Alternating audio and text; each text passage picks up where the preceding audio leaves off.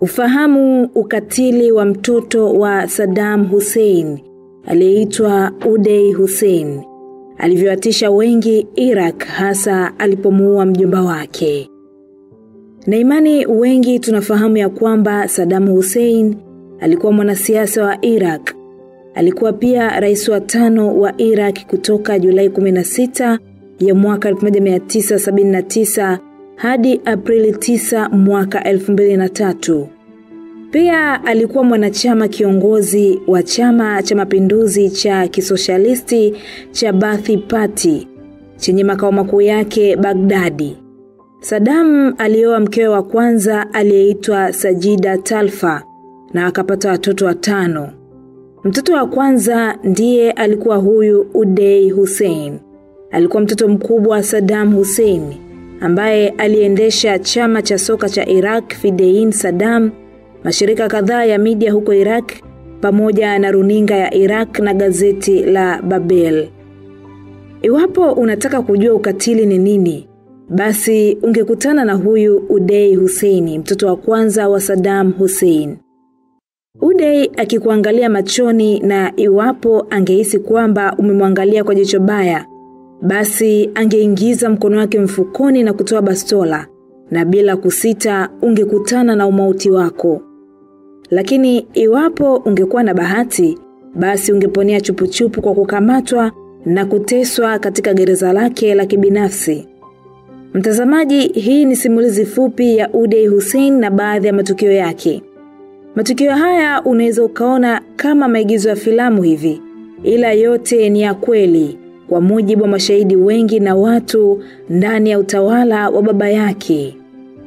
Udei Hussein alizaliwa Baghdadi na miaka kadhaa alikuwa kama mrithi wa baba yake, lakini alipoteza nafasi hiyo kwa mdogo wake Kusei Hussein kwa sababu ya majeraha katika jaribio la mauaji.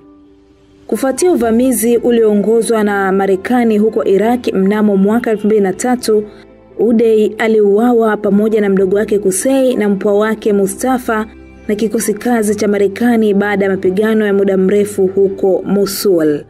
Uday aliripotiwa kuwa mkatili na mwenye kutisha kwa wapinzani waliotambuliwa na pia marafiki wa karibu. Familia, jamaa na marafiki zake mara nyingi walikuwa wanaathiriwa na ghasia zake na hasira zake. Kwa mujibu wa mashahidi wanasema kuwa alikuwa na hatia ya ubakaji, mauaji na mateso kwa wanariadha wa Olimpiki wa Iraki na wachezaji wa timu ya kitaifa ya mpira wa miguu kila walipocheza mechi. Mnamo mwaka 1984, Saddam alimteua mtoto wake Udei kuwa mwenyekiti wa kamati ya Olimpiki ya Iraq na chama cha soka cha Iraq. Lakini katika wadhifa huo wa kwanza wa Udei aliwatesa watu ambao walimkatisha tamaa kwa njia yoyote, ambayo ni pamoja na marafiki ambao hawakukubaliana na yeye, haswa wanariadha wa Iraq ambao walifanya vibaya na kushindwa kupata ushindi. Na katika wakati wa mazoezi, alikuwa akiwaangalia wanariadha na makocha kwa ukaribu. Na ikiwa hakufurahishwa na matokeo, basi makocha na wanariadha hao waliwekwa katika gereza lake la kibinafsi katika jengo la kamati ya Olympic. Hali hii iliwafanya wanariadha wengi tena bora zaidi kuacha kucheza mchezo huo. Ingawa hadhi yake kama mtoto mkubwa wa Saddam Hussein ilimfanya kuwa mrithi anayetarajiwa wa Saddam, lakini Uday hakumfurahisha kabisa baba yake. Mnamo Oktoba ya mwaka 1988 kwenye sherehe ya kumheshimu Susan Mubarak, mke wa rais wa Misri Hosni Mubarak, Uday alimuua mhudumu wa kibinafsi wa baba yake na mwonjaji wa chakula chake. Huyu aliitwa Kamel Hanagigio. Alimuua mhudumu huyo mbele ya wageni huku akiwa amelewa. Alichukua kisu akamchoma mara kadhaa. Lakini chanzo cha mauaji hayo inaelezwa kuwa ilikuwa hivi. Gigio alikuwa amemtambulisha Saddam Hussein kwa mwanamke mchanga aliyeitwa Samira Shabandar, ambaye huyu alikuwa mke wa pili wa Saddam mnamo mwaka 1986. Basi Uday alichukulia uhusiano wa baba yake na mwanamke huyo wa pili kama matusi kwa mama yake.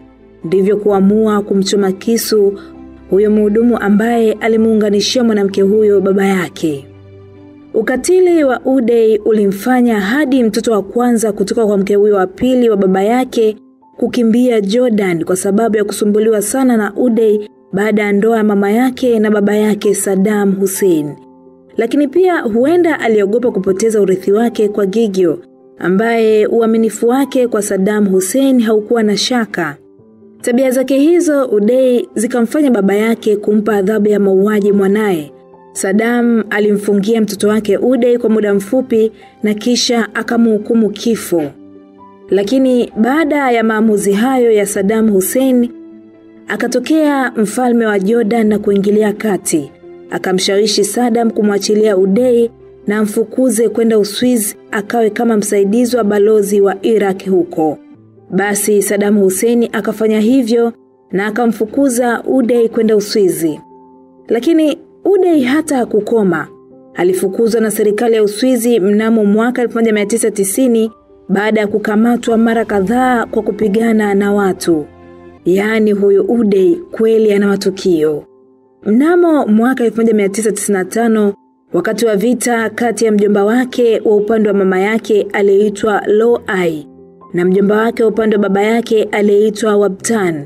Udei alimpiga risasi mjomba wake mmoja pamoja na kuwafyatulia risasi wageni wengine kwenye sherehe hiyo na kisha alimpeleka mjomba wake Wabtan hospitalini na kutoweka. Do, yaani huyu kama kaka jambazi. Yeye ugomvi kwake kama chakula na kumwaga damu kwake kama kunywa maji tu. Hii ni hatari. Basi baada ya tukio hilo shemeji zake Hussein Kamel na Saddam Kamel walitoroka kwenda Jordan siku iliyofuata na shambulio la Uday kwa mjomba wake lilibaki siri. Lakini baba yake Saddam alipata taarifa. Alivyopata taarifa hiyo, alimwamuru Uday amuulize mjomba wake kuwa ampige risasi kama jinsi yeye alivyompiga risasi. Lakini mjomba wake huyo Abtan alikataa kufanya hivyo. Mmoja wa waliojeruhiwa katika sherehe hiyo alisema kuwa sababu ya shambulio hilo la Uday kwa mjomba wake ni kwamba mjomba wa Uday alikuwa anamtania jinsi Uday alivyopata shida ya kuongea wakati alipokuwa akitoa hotuba yake.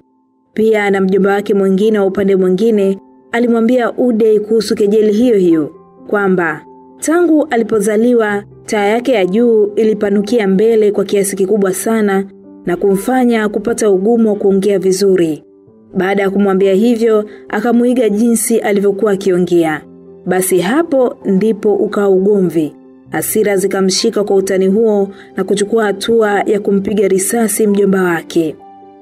Hapo ndipo sadamu baba yake na Uday alikasirika sana alipomwona kaka yake wa kambo hospitalini ana shida ya kutembea. Hivyo akaamuru magari ya kifahari ya Uday yote yachome moto. Na Uday alikasirika sana. Sana sana alimkasirikia kaka yake Kusei kwa kutomzuia baba yake kuchoma magari yake. Hivyo Uday akapatwa na mshtuko wa neva. Chanzo cha makala hii ni BBC. Mimi naitwa Tausi Halifa. Usikose kuniandikia maoni yako hapo chini juu ya mtoto huyu wa Saddam Hussein, Uday Hussein. Pia naendelea kukukumbusha kujiunga na grupu letu la WhatsApp kwani unapitwa na uhondo huko. Maelezo zaidi ya kujiunga yapo chini ya video hii. Asante kwa kuichagua Ananias Edgar TV.